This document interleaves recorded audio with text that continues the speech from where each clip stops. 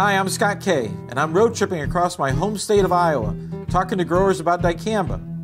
Today I'm in Clemons Grove, Iowa, meeting with Kent Johnson and his family. Good to meet you, Scott. Hey, thanks for having me here. Absolutely. Glad you're here. So, Kent, thanks for having me here. Beautiful view here behind us. Thank you. So, on this farm, you, you plant corn and beans. You, We plant corn and soybeans. how many acres? Owned, rented, and custom farmed. We have about 5,500 acres. Okay.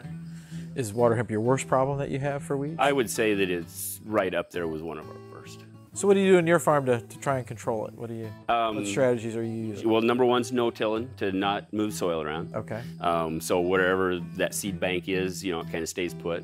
Okay. Um, a- another thing we do is is we're uh, very strong on anything for uh, pre-emergence herbicides. Okay. I mean anything, uh, uh, different modes of action.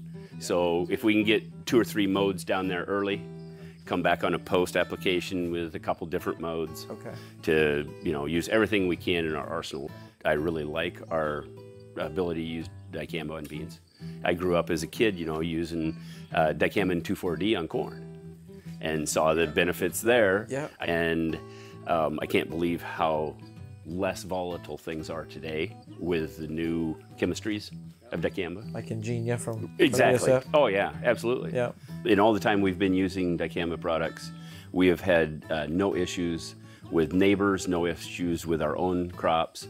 Um, even where we have uh, our own crop adjacent to a dicamba crop, we've never hurt ourselves. Um, we've we've always had great success. Let me ask you, what if what if that dicamba trait went away? Would it hurt your yield? I think it would. It's been a product that we have used for years with great success. And if it went away, it would leave a pretty big hole. Bang for the buck, the dicamba to me is still my best program. I can get the largest amount of, of kill factor on weeds um, for the money as, as compared to any of the other programs I look at. Why is it important for farmers to keep all the various tools or options in their toolbox? we don't want to build a resistance. So we need not only a dicamba product, but we need a Liberty product, a Roundup product, a name your other products to stay diversified. It's no different than when I'm working on a piece of equipment. If you take one of my tools away, I'm going to have one hand tied behind my back.